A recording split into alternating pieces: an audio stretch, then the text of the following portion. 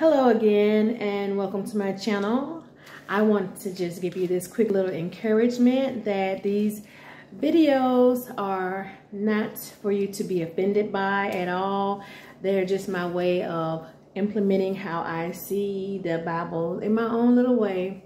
So by that being said, I want you to know that I would encourage you very much to use your personality, your own Holy Ghost given personality and character to start um, doing videos like this. Open up your Bible and let the Holy Spirit use your own character and personality.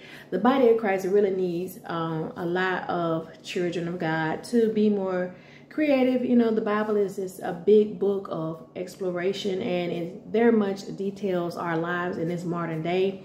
And we have to live by it no matter whether we want to or not. And we have to live by the word because the word of God is living and it does uh, unravel in our own personal lives.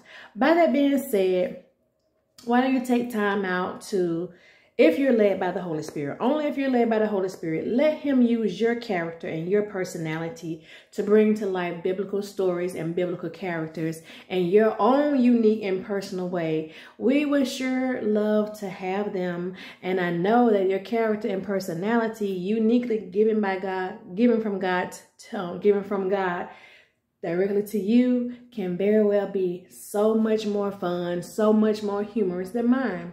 So go ahead and if you're led by the Holy Spirit, then you can do this. Amen. It's not hard. So once again, thank you for tuning into my channel.